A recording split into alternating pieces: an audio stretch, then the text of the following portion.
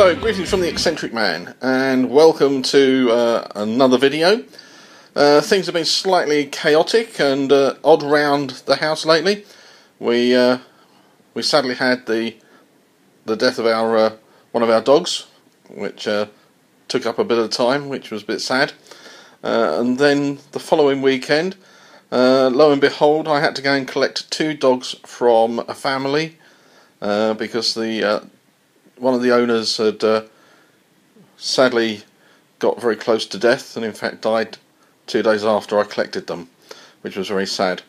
Uh, had them in the house so they took up some time uh, and now just been informed that our conservatory where I do my painting is going to be knocked down next week and the new one started on. So uh, all my bits and pieces from in here, my boxes, everything else underneath, and a table of clutter uh, everything else. What a what a shambles has got to go.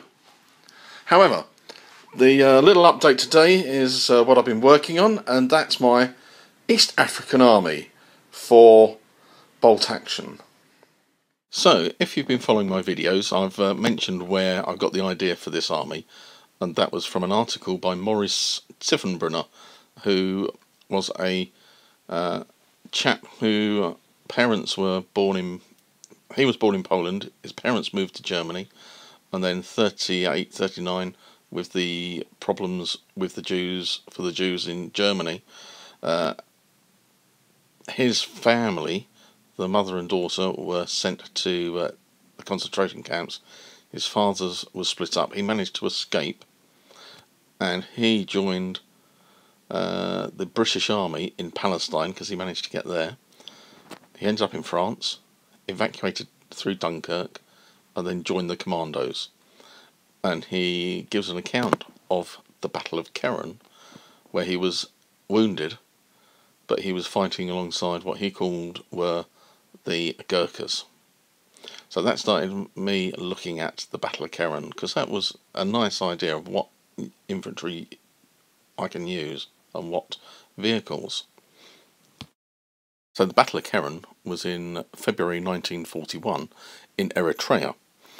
The start of it was the Gazelle Force, which was B Squadron of the 4th Royal Tank Regiment, their Matildas, and the Skinner's Light Horse, which was an Indian reconnaissance unit. Uh, they were either using, probably using the uh, Indian pattern carriers, but uh, I haven't got £40 to spend on two of those, so I'm making do with the Bren carriers. So uh, they did use the Bren carriers, but uh, mostly it was the Indian patterns. But uh, so I've got the Skinner's Light Horse, which I've got an armoured car. In the armoured car slot is the Bren carrier. So that's got an LMG and an anti-tank rifle, boys anti-tank rifle. Um, so it's based on the Commonwealth Army. It's an Indian infantry division, the 5th Indian Infantry Division, the Ball of Fire is their nickname, and uh, that's what I've gone for. So within it, uh, I've got a second lieutenant with his uh, Batman. I've got two units of eight uh, with the LMG. The rest of them are rifles. They're my Sikhs with the turbans. Um, in the list that I can run with the Gurkhas, I've got a unit of eight Gurkhas, uh, and then I've got a unit of five commandos. I've got a Bren carrier to carry the commandos, and a truck that is going to be the uh, transport for the Gurkhas. Uh, I have a medium mortar and a light howitzer, the 25 pounder, which doubles up as a anti-tank gun. So that's about a thousand points. Now, if I call it an Indian army from Duel in the Sun, I lose the British traits but take uh, it's a re-roll of failed morale tests and a free unit of 10 regular infantry. So I could go that route. I could go the normal route of just having it as a British army and I can have the preliminary bombardment, um, preparatory bombardment boost, the free artillery observer, and uh, one of the national characteristics which I normally take up an atom which gives me the uh, ignore ignore pins when I want to charge. Or looking at the Western Desert, the new book, I can just go for bog standard regular infantry throughout and one unit of Royal Engineers, which is a new unit, veterans, and they can have a flamethrower.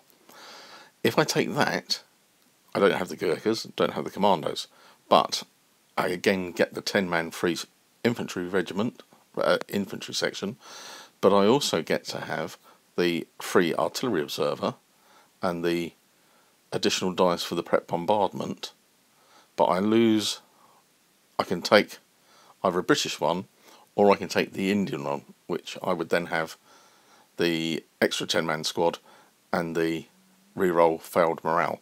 So that's very interesting, and I'm going to try that list uh, in a battle report very soon. So that's the uh, the army. It's the uh, as I say, it's the East African army, the of the British Commonwealth, and it was in the Indian Fifth Infantry Division, and that's what I'm going to be using. So, Gurkhas.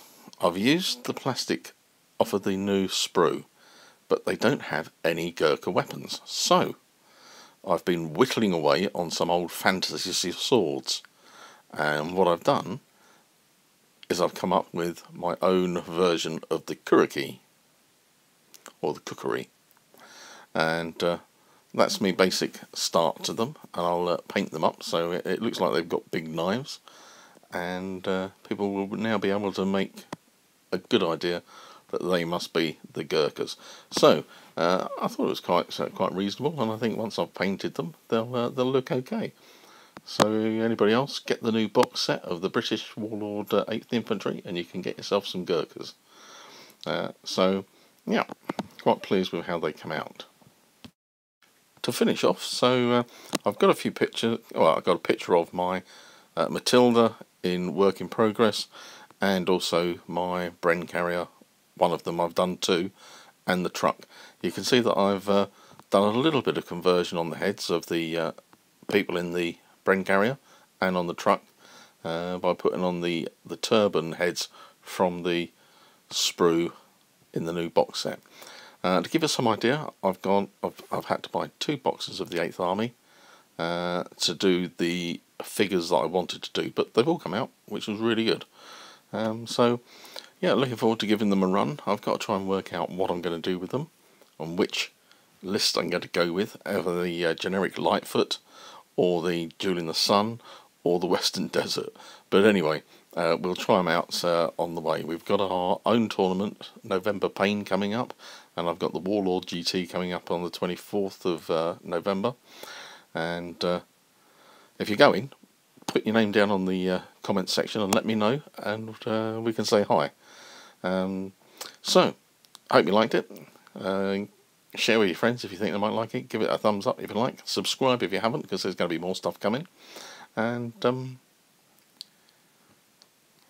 take care, and we'll uh, see the next video, which should be a battle report.